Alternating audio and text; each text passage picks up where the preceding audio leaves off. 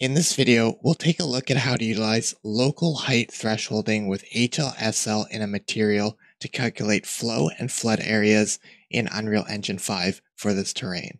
If I change my filter size, we can see that we can calculate flood areas or flows on the surface of water that would accumulate in these larger areas or more smaller areas.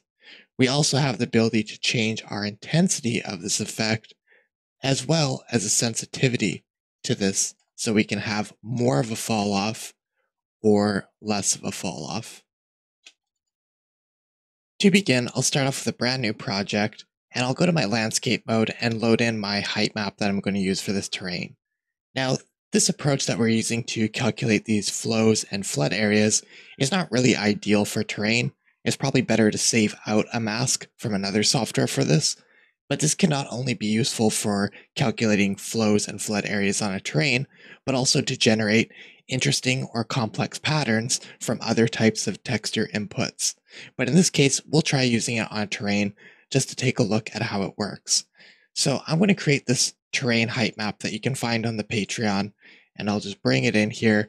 It might be a bit too tall, um, so I'm just going to go in here and make its landscape a quarter of the height and then maybe also uh, offset it so it's not far below the, the grid. And I'll just zoom up onto it or focus on it by pressing F. And here is my terrain. So now we have something to work or at least test with.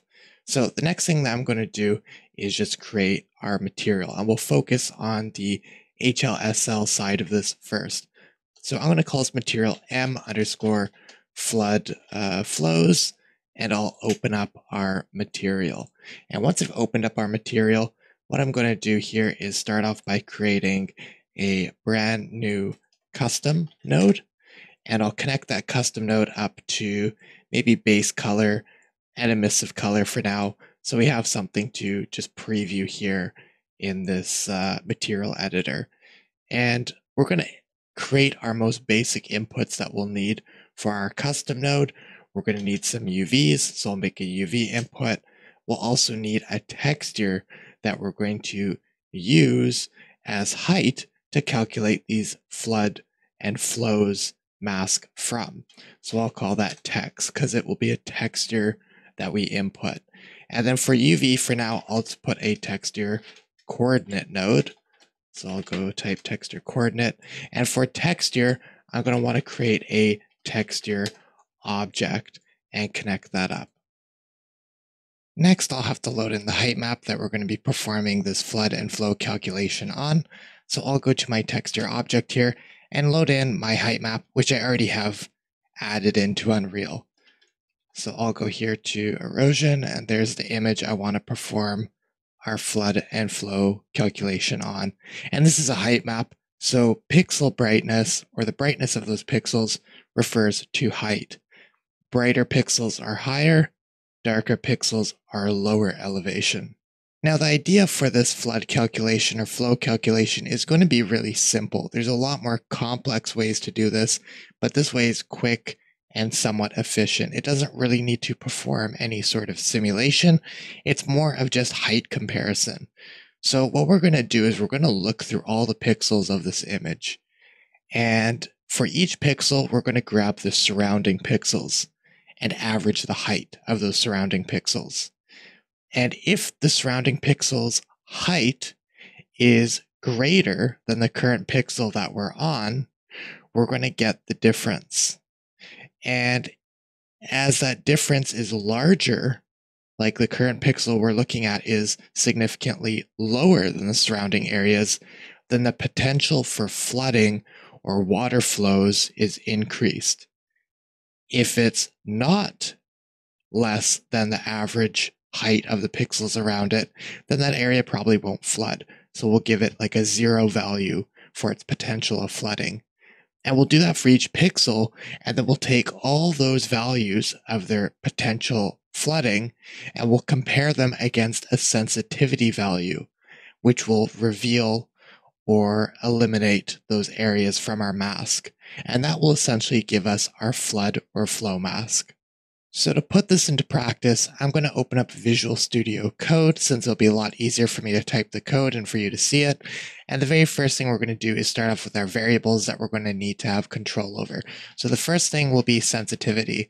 So this will be our sensitivity of the threshold or the, the flooding effect or flows. And then what we'll do is we'll do like a intensity. This is like the intensity of the, the flooding or the flows. You could increase that to produce a stronger mask.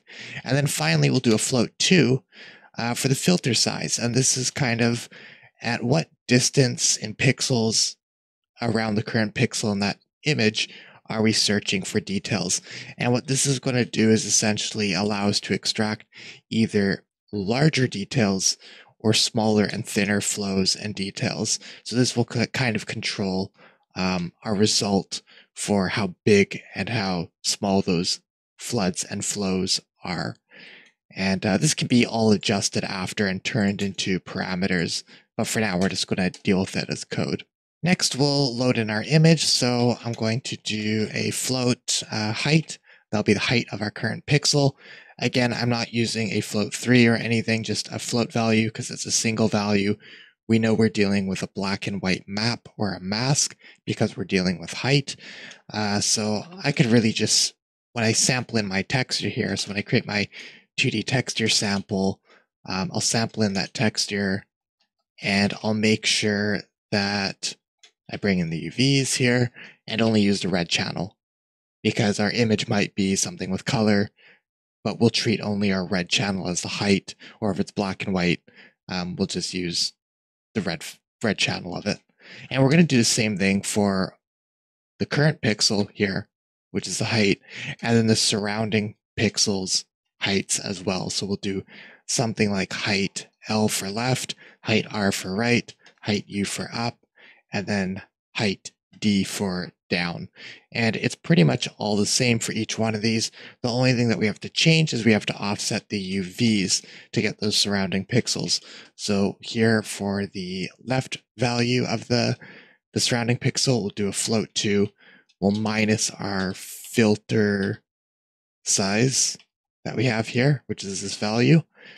Eh. And we'll do the X value and then Y value we can just leave uh, zero. And we're going to do that same thing for left, right, up, down. So it's going to go uh, negative, then positive, and then negative, and then positive. So something like this. I'm just going to paste these all in here and then change them. So negative, positive, and then zero, and then negative filter y, and then zero on that side, and then positive filter size y. So that's it. Now what we have to do is average all these pixels to get the average height of the surrounding pixels. So we're going to do another float called average height, and we'll just make that equal our height left plus height right plus height up and height down. And since there's four things that we're averaging here, uh, we can either divide by 4 or multiply by 0.25 to get the average height of those. Next, we need to check to see if the current pixel's uh, flooding value is more or less. So what we're just going to do is do another uh, variable called float flooding, and we'll make that return a value so I'm going to do max and I'll make the minimum zero and then the maximum average height minus height. And what this is going to do is if the average height is something higher, like 10, and the current height is 5, you do 10 minus 5. That means the area that we're currently in, 5, is lower than the average height, 10. So the resulting value will be 5 that makes it a high potential for flooding that will return a value of 5. However, if our average height was lower than the current height, if our average height is something like 5, but our current height is maybe something like 10, much, much taller, well, if you take 5 and you minus 10, it ends up with a negative value and this will end up just returning zero because its minimum is zero. So then it has no potential of flooding. So that's kind of how this will work. It'll give us uh, an intensity factor for how possible that area is to flood. And then once we have that, we can make a condition to check that. So for our condition, we can do something like float result, our final result. We could do flooding. If it's bigger than our sensitivity value, uh, then we can return our flooding multiplied by our intensity. Otherwise, we just return zero, like no no no value in our mask. It's like a branch essentially. We could do it this way. Totally works fine.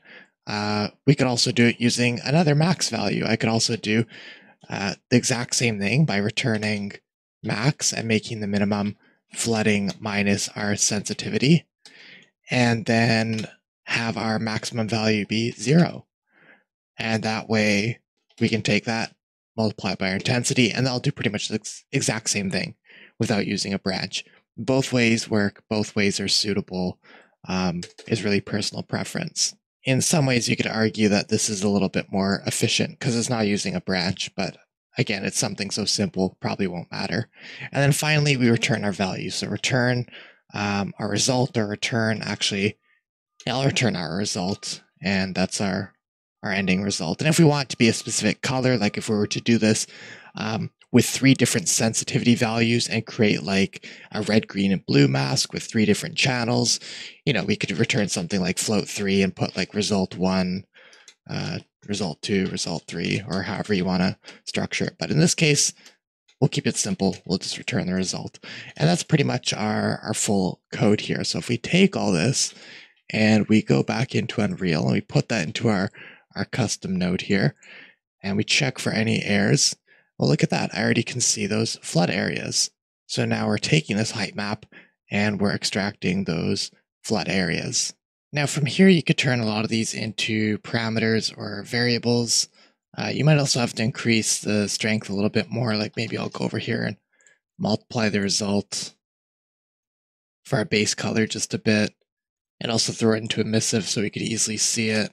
I'm just going to do this for visibility purposes and then I'll throw it on my terrain. But if I do throw this onto my terrain, um, texture coordinates not going to work. They'll tile over our terrain. So I'd have to use something like a landscape layer coordinates, or I'd have to divide our texture coordinates by the size of our terrain and, and get the fractional value. But this might be easier. And I know I'm using a, a thousand and nine pixel height map, so I'll, type that for our mapping scale. And if I took this material now, just as an example, see if it lines up, throw it, threw it in here to our landscape material. There it is. There's all of our calculated flows for our terrain. And if we wanted to change that, you know, I can go in here and say, okay, let's calculate larger values. Uh, let's make the sensitivity lower and save that. And then, you know, now we expand that and kind of calculate the more broad areas of of flooding and flows. So really easy to do. And again, this is not ideal for a terrain. You probably save it out to a mask like this for flows from another software. Uh, but this could be useful for complex pattern or texture generation in your HLSL materials or a lot of other things as well. But it shows you how doing something complex can have a lot of accurate and complex ways to calculate uh, those types of effects, but also it can be done much more simpler with other approaches. And in this case, really just getting average pixel height and doing a bit of comparison and thresholding. If you enjoyed this video and you learned something new, don't forget to like, subscribe, comment down below.